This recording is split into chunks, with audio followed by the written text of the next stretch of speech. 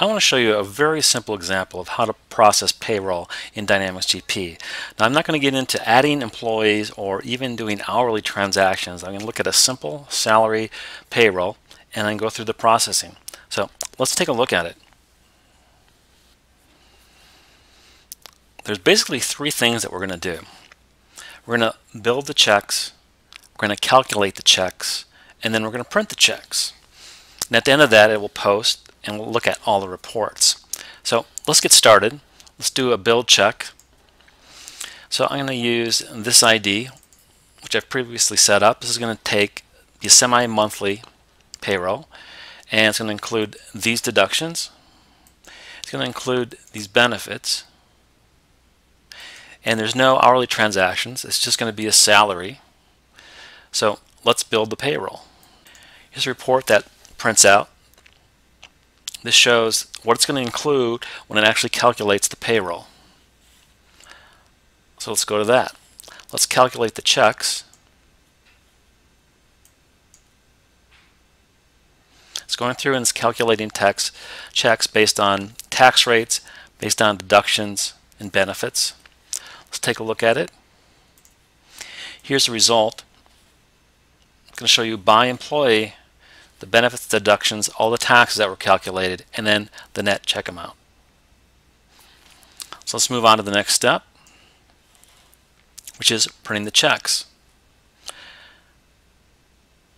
Let's go ahead and process that. Deposits have been calculated, no exceptions.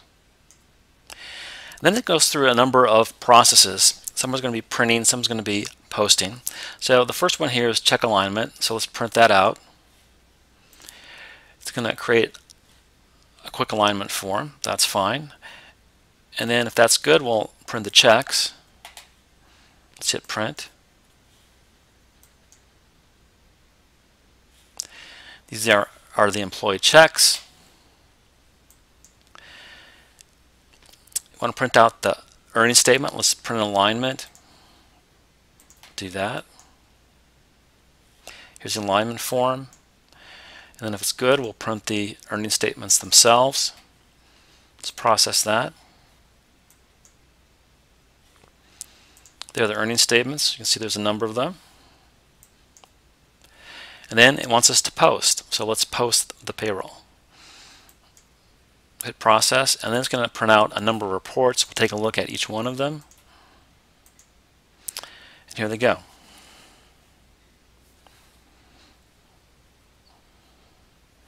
So here's the first one. It's the check register. It shows each employee and summary check amounts. Look at the next. Payroll check posting register, which is all the accounts that are going to be posted to, and the employee ID.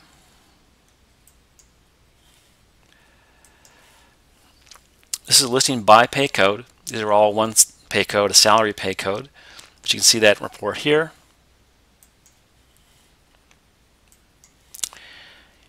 Here's a department posting.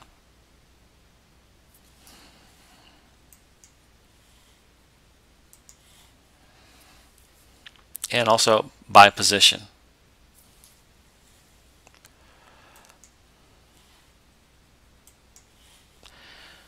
This is the deduction posting journal. You can see by deduction type how much and to which employees were deducted from the paychecks.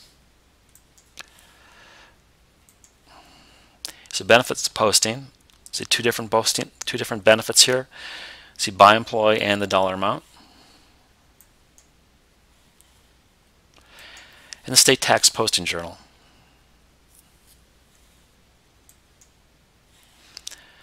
Nothing there.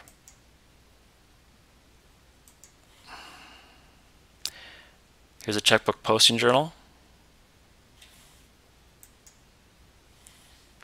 And the direct deposit.